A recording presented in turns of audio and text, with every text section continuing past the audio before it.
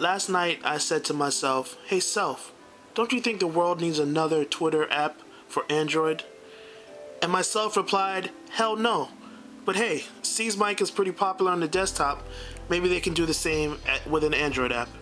As you can see, the UI is pretty straightforward. You've got the four tabs here for replies, messages, and seeing profiles uh, of your of yourself. Here's my profile on Twitter slash Andrew Kam, in case you wanted to follow. And you go to the timeline, and you see it has a pretty nice interface. It loads at decent speeds. It's not particularly slow or particularly fast that I've noticed so far. When you go through, you can long press and you get your options for a reply, retweet, direct message, favorite, and share. Obviously, you're not seeing anything new that we haven't seen already in the other Android apps, but Seesmic is pretty popular. As they this is the first version. As they add more stuff maybe it will become more interesting. If you're one of the people who for some reason don't like Twidroid or don't like swift or one of the dozens of other apps that are out there this is another option for you to check You may love Google Calendar, but there's a good chance you don't love the widget that it puts on the Android home screen. As you can see, it lists only one upcoming event, which really doesn't cut it for some people. So if that's not enough for you, you can get Android Agenda. This is an app that can take up the entire screen or can take up only half. It can also be set to display multiple calendars and it shows you an agenda view of your upcoming events. It shows the title, the time, and if location if you've entered it and when you click on an event it brings it up in the calendar to show you the additional notes the reminders it set. You can also set it to edit if you choose. Now when you go home as you see I have my personal calendar and I also have the Android events calendar.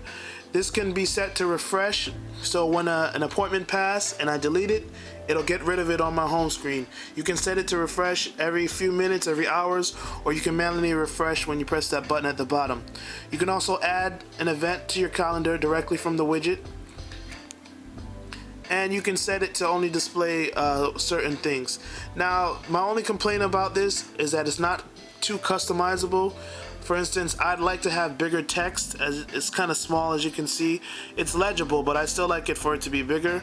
I'd also like to be able to change the transparency, so hopefully the developer will add that option to it. But for now, Android Agenda is a good option to have. It's a free app available in the Android market.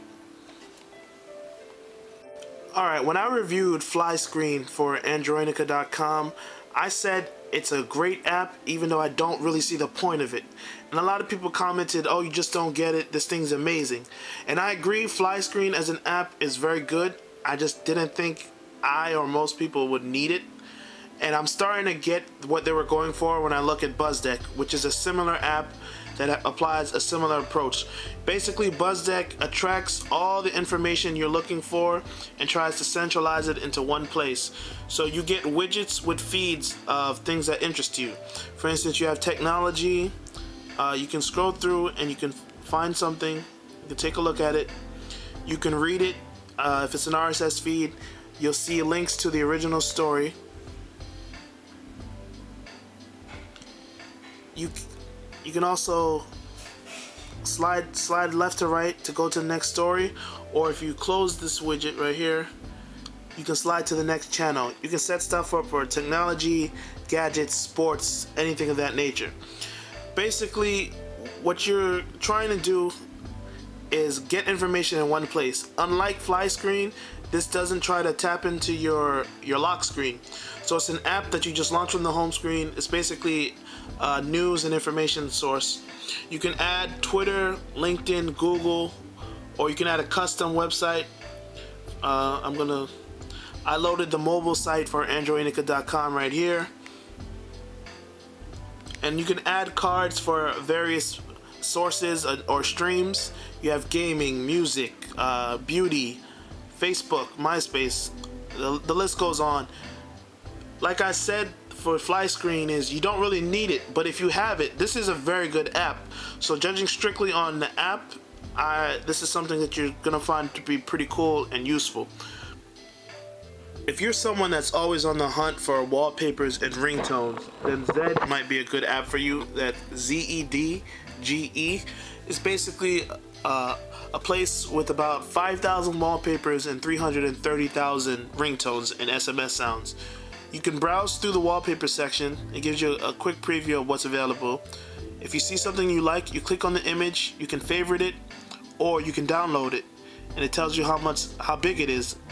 Most of these images are formatted specifically for the average Android phone, which is about 640 by 480. You can also set it to the wallpaper directly from the app. Now when you go to ringtones, let's see, home.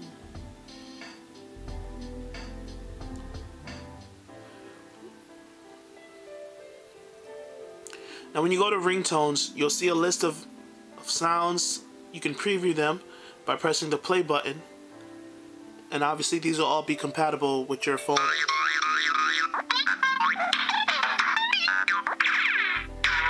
And if I like a sound, I can do the same thing, preview it, and press download.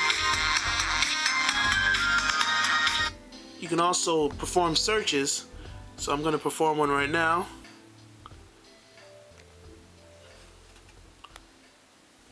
Go to ringtones and perform and listen to the first ringtone I always put whenever I get a new phone.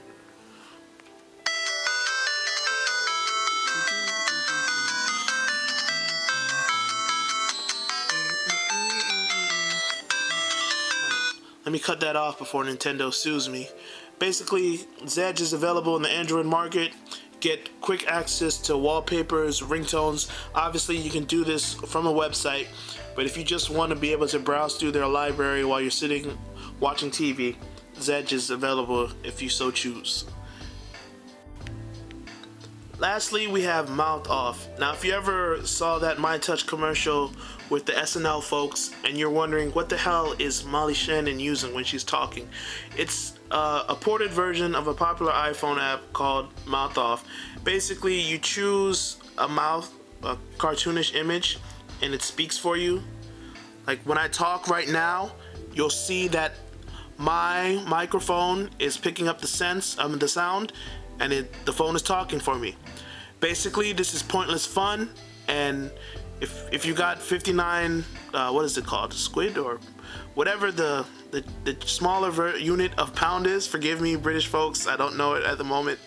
Basically, it's 99 cent US and 0.59 pounds uh, of British people. Uh, basically, I'm talking. One last thing I forgot to mention about Mouth Off it takes up a lot of space. I'm talking 9.24 MB. If you've got a stock G1 or you've got a phone that gives you those low memory messages a lot because you have a limited amount of space, don't bother with this app because it takes up the space of one to maybe six or seven apps when you think the average Android app is probably about 1.2 MB. So if you've got a MyTouch or a Galaxy or a device that has a lot of space or you've got a rooted phone and space isn't an issue for you, uh, play around with this, but otherwise, don't even bother.